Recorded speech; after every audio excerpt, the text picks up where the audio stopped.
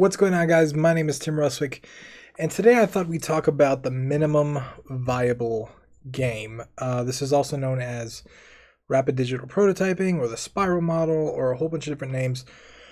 I like minimum viable game because that's the whole MVP concept from lean startup, and I have a lot of experience in startups, so I definitely have used that uh, model before in that way of thinking. And basically, if you don't know, it's the idea that you should not make the entire game at first. You should start with the minimum viable game, the minimum viable product, the the smallest piece of it that you can, uh, while still getting across what your game is. Now, a lot of people get this wrong because they try and make a minimal version of their game. Like, oh, they they they cut out you know a bunch of stuff uh, but the keyword is minimal but also viable so minimum viable game doesn't just mean the the smallest piece you can do. It doesn't just mean uh, cubes and rectangles and and you know programmer art and just random stuff that you can do in, in an hour. It actually means a minimum viable product. So you want to start with something that you can actually show to somebody and say hey this is what i'm thinking for my game. This is what it is. And this is really important because a lot of people, let's say they want to make an RPG, right? They start designing their whole world. They got the story building. They got 100 spells. They got like all this equipment and stuff that you can pick up.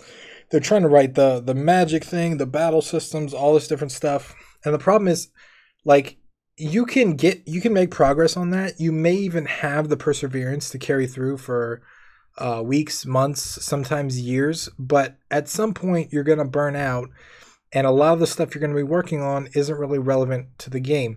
A better way to approach that is with this whole minimum viable game uh, or this rapid digital prototyping or this iteration cycle or spiral model, whatever you want to call it, is to build a basic version, right? So try with one spell and with one, you know, town or with one little building, one little battle or whatever it is. Build that so you can show someone and say here look what i got. This is my game try and build like in game design they call it a vertical slice whereas it's something that looks complete it looks polished but it's only one little piece. Um, if you can build that with minimal like attacks or weapons or whatever it is then you can iterate. Then you can change something and then you've got something new. And you can change something and add something you've got something new and keep going through the, the whole cycle. The problem is most people try to start they try and build everything at one time. And they get lost in here, a lot of dark work, and then they quit because they never get to the point where they can finish. You want to start small because then you can add on to your circle and it gets bigger. and You add on the circle and it gets bigger. You add on the circle and it gets bigger, and so on and so forth. So, minimum viable game, I think, is a really important concept, and I think a lot of developers should learn how to apply it to their projects because when you think in terms of like iteration cycles, right? Um, you're not saying that okay, like I got to cut this feature or I can only have 50 weapons instead of 100 weapons. You're starting small and you're really reading the game. You're really reading the feedback that you're getting. You're really reading the things that um, are coming in, the inputs, and then you can make iterations based on those inputs. So, for an example, let's say even if you could make an entire RPG by yourself and you just start developing it all, you might develop a whole bunch of stuff that nobody likes, that nobody wants to play. That's just not fun. But for example, if you start small and then you iterate, you can show the different versions to different people, get feedback. They may have ideas, they may give you feedback. They may say, no, this battle system sucks. Uh, they may say, it's just not fun to go in this one area.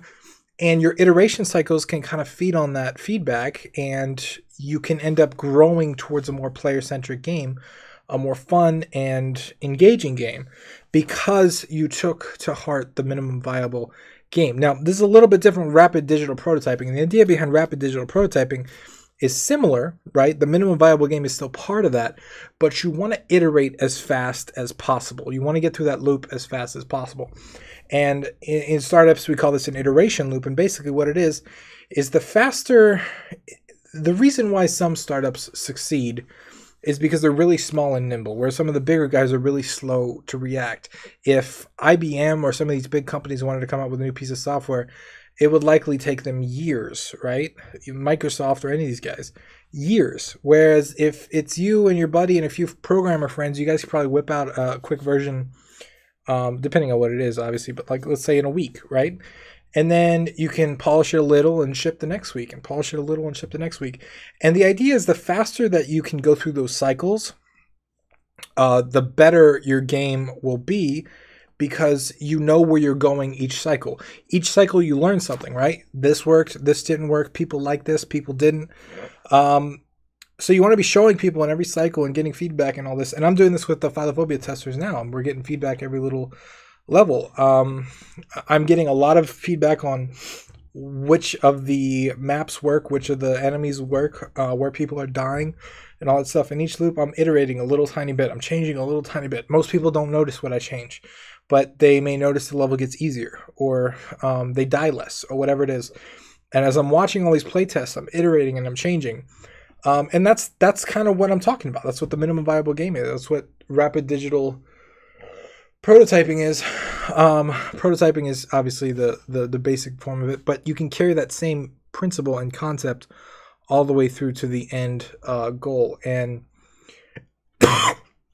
excuse me, I don't know what's wrong with me today. Um, it's it's really effective. So I wanted to share that with you guys. I wanted to kind of um, let you know about it. I know I've mentioned it a few times. I've talked about it, but I wanted to make a video about it because if you're new to game development or you're just getting into games, don't start with that big project. Um, and even like I have videos that say cut it in half or different tips and stuff for game developers, but starting with that small minimum viable game, the minimum thing that you can play. Like if you make a racing game, make one car and one track and get the thing working. Making an RPG, make one dude, one town, you know, one weapon, whatever it is.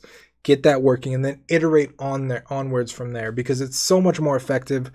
You'll make a better game that way. You'll stay motivated more that way because you're seeing something change constantly um, you're not doing all the boring work up front or anything like that. So it's just really effective. And I've seen a lot of startups succeed with the same methodology. I've seen a lot of games work, and I definitely could not uh, do it without that. Like the Finish Friday stuff, man, like that's one cycle that we see on Friday, right? Like we take a game, we iterate on it, and we push it out. But we're going to be doing the Fix It Friday stuff where we kind of go back and we do another iteration cycle on each one of the games, make them better, we add stuff, and so you guys are going to get to see that live, which is going to be cool.